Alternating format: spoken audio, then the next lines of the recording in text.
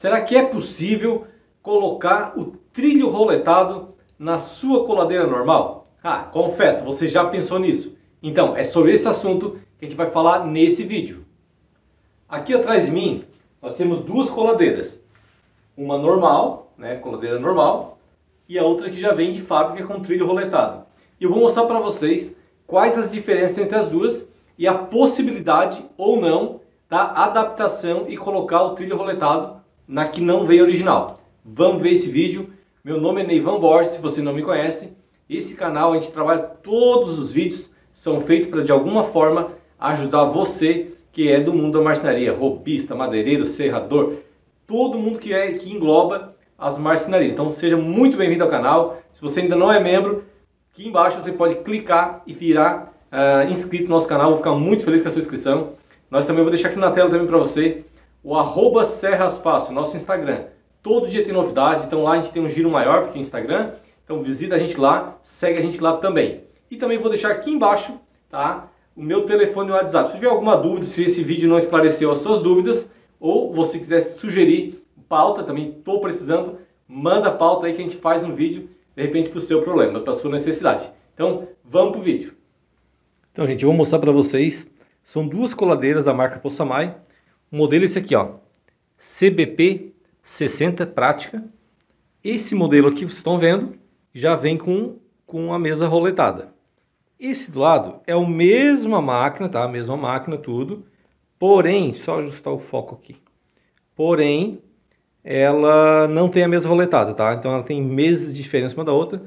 O mesmo modelo, tá? As duas máquinas no mesmo modelo. Você pode ver que o painel é igual. Aqui, ó, é igual. Então é a mesma máquina, porém tem essas diferenças. Só que ela tem diferença na estrutura também, não é só o fato de ter o rolete. Então, ó, vocês percebam que aqui ó, tem um desnível. Deixa eu melhorar o foco de novo. Ó, tem um desnível aqui, ó. Tem um desnível. Para que isso? Essa diferença para dar a altura do rolete. Então a gente vai falar sobre isso nesse vídeo, se é possível adaptar esses roletes nessa máquina aqui. Bom, aí você já deve estar se perguntando, mas o que, que é o trilho roletado? De qualquer maneira, depois que você ver esse vídeo, isso aqui é o trilho roletado, ó, tá? É, eu vou deixar aqui embaixo na descrição desse vídeo uh, um link para que você possa comprar tá? Direto na internet, esse trilho roletado. Eu indico que você compre ele com um metro, existe pedaço de 50 centímetros, então na hora que você for comprar, verifica o comprimento.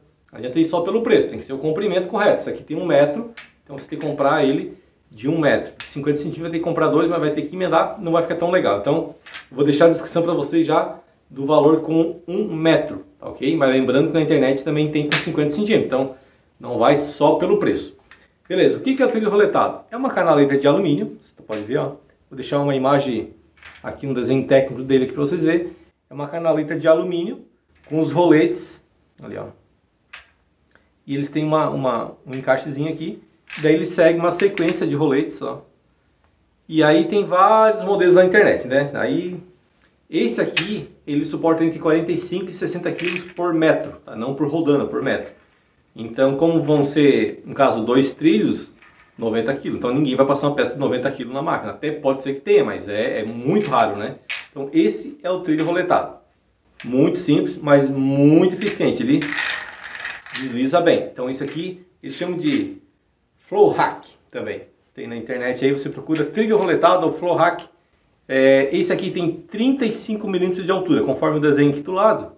35 milímetros de altura. E aí esse é o detalhe que a gente tem que ver se dá para adaptar na outra e vamos ver agora. Então galera, uma notícia. É possível sim botar o trilho roletado na coladeira que não é original dela, o trilho roletado. Só que tem umas coisas para a gente verificar. Eu vou tirar aqui, ó, só para vocês terem uma ideia. Tirar a, a base, né? Vou tirar lá o outro lado também. Pronto, já tirei lá. Ele é preso com isso aqui, ó. Esses manípulos. Esses manípulos que ele vai por baixo e prende aqui dentro nessa, nessa porquinha aqui. Como a gente vai tirar isso aqui, qual, qual é a grande diferença? Olha a diferença dos dois, a altura.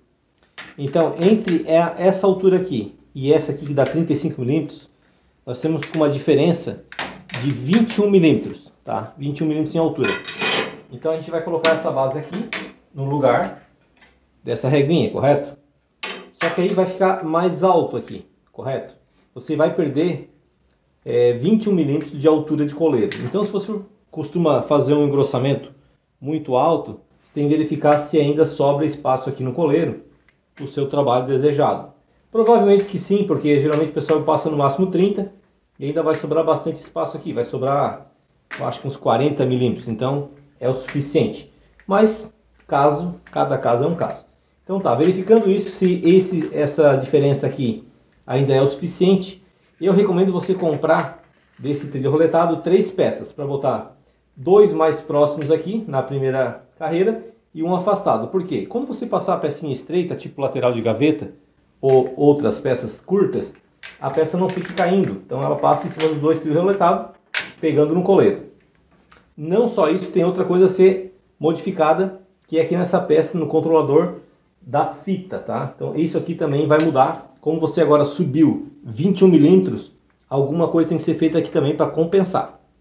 Lembrando sobre os cálculos de altura, se você comprar um trilho roletado com altura diferente de 35 milímetros ou outro, você sempre tem que fazer o comparativo entre o trilho roletado que você comprou e a reguinha que tinha. Então, daqui dessa altura até chegar na altura do trilho roletado, é a diferença que você vai ter que aplicar na máquina, correto?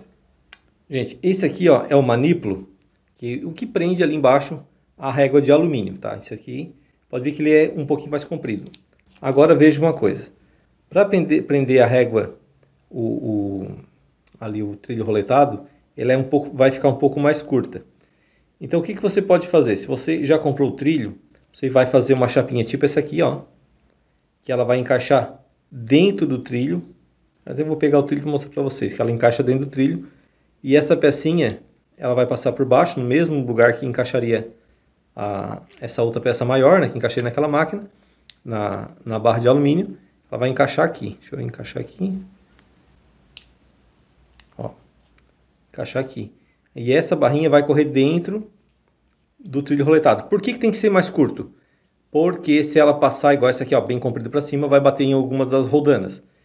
É, eu tenho alguns clientes meus que tiraram a roldana da onde está a chapinha, só que né, dá para cortar né, e fazer para não tirar nenhuma da rodana para ficar bonitinho. Agora eu vou mostrar para vocês é, como é que ela entra no trilho.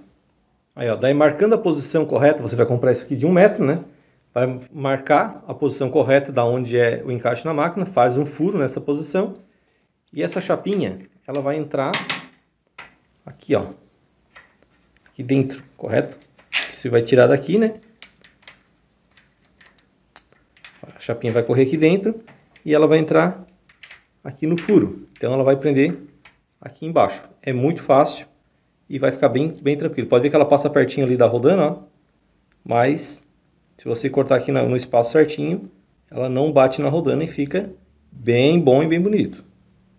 Então agora você já colocou os dois trilhos roletados, na verdade três, que vai um aqui próximo da saída. Aqui é o detalhe, ó. Aqui é a peça por onde sai a, a fita.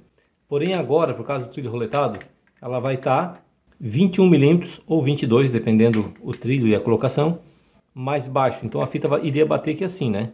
Então não teria como. O que, que pode ser feito? Dentro da canaleta você pode botar um MDF de 3mm para um pedacinho para ele correr por cima do desse MDF de 3mm, ajustando aqui atrás o, o limitador. Então ela corre por cima. Ou você pode tirar a base fora e aqui embaixo tem a porca, né? Você tira as porcas, vai ter que fazer uma, uma... Eu recomendo botar um pedaço de MDF embaixo e comprar uns parafusos mais longos e fixar. Só que se você botar aqui dentro até vou dar um pouco mais de zoom aqui, ó. Cadê o zoom ali? Aqui dentro, ó, você consegue colocar um pedacinho de MDF de 3 milímetros ou outra, outra substância, outra coisa, erguendo 21 ou 22 milímetros e a lâmina vai entrar bem aqui em cima, vai dar certinho. Um recadinho antes de terminar. Essa máquina aqui, a coladeira nova CBP 60 da marca Possamai, eu vou deixar um vídeo aqui na descrição, também vou deixar aqui no card se você tiver interesse nessa máquina, serrasfácil.com.br, o meu site vai estar aqui embaixo sempre no rodapé. A gente comercializa essa máquina, uma máquina fantástica, é um modelo novo da Poça Mais. Então a gente tem vídeo dela, você pode ir lá e conferir também. E lembrando que na descrição desse vídeo vai estar o link para você comprar as barras roletadas ali, né, os trilhos roletados. Foi, eu vou deixar o link ali do melhor preço que a gente encontrou, mas se você encontrar um preço melhor, com qualidade, tá tudo valendo. Bom, gente, o vídeo vai ficando por aqui, então sim, é possível você botar trilho roletado na sua coladeira que não veio original de fábrica. Claro que tem as mudancinhas que a gente fala no vídeo, mas é possível e eu acho que eu recomendo que vai ficar muito legal, desliza muito melhor, não tem aquele problema de riscar a peça, tudo que é, é que gira, né, flui melhor, vai trabalhar muito melhor, acho que vai ajudar bastante você. Muito obrigado por ter vindo até aqui nesse vídeo. Se você gostou, você pode compartilhar com seus amigos, botar em grupos de redes sociais esse vídeo que eu vou gostar muito, porque a gente mandar essa informação para quem puder. Beleza, gente? Muito obrigado. Então não esqueçam de dar aquele 10 que a gente gosta muito também. E até o próximo vídeo. Tchau!